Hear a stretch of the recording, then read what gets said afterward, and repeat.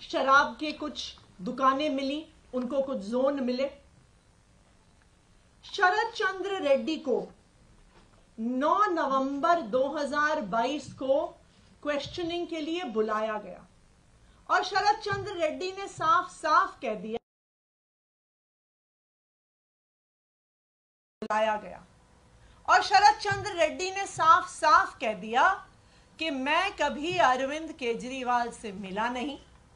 मेरी उनसे कोई बात नहीं हुई। मेरा आम आदमी पार्टी से कोई लेन देन नहीं है। जैसे ही उन्होंने कहा कि मैं अरविंद केजरीवाल से मिला नहीं, उनको तुरंत अगले दिन ईडी द्वारा गिरफ़्तार कर लिया गया। कई महीने जेल में रहने के बाद एक दिन शरद रेड्डी जी ने अपना बयान बदल लिया। शरद रेड्डी जी कहते हैं कि मैं अरविंद केजरीवाल जी से मिला भी। शरद रेड्डी जी कहते हैं कि मेरी उनसे शराब घोटाले पे बात भी हुई। और जैसे ही शरद रेड्डी ये कहते हैं, उनको जमानत भी मिल जाती है ईडी के द्वारा। लेकिन ये तो सिर्फ़ बयान है। पैसा कहाँ है? मनी ट्रेल कहाँ है?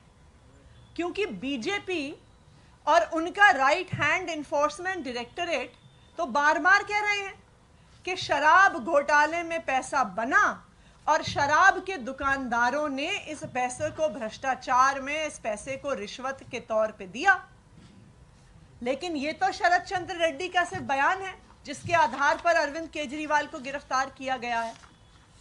मनी ट्रेल कहाँ है? मैं बताती हूँ आपको कि मनी ट्रेल कहाँ है। ये है मनी ट्रेल। शरद चंद्र रेड्डी की कंपनियों द्वारा दिया गया इलेक्टोरल बॉन्ड्स में भारतीय जनता पार्टी के बैंक अकाउंट में पैसा।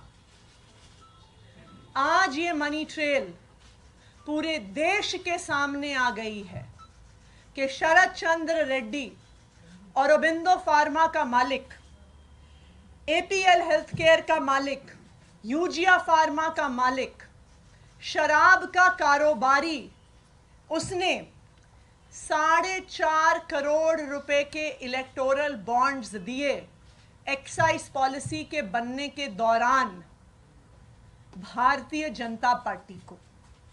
उसके बाद, गिरफ़्तार होने के बाद 55 करोड़ रुपए के इलेक्टोरल बॉन्ड्स दिए। भारतीय जनता पार्टी को। तो जिस मनी ट्रेल की पिछले दो साल से तलाश हो रही थी, आज वो मनी ट्रेल सामने आ गई है।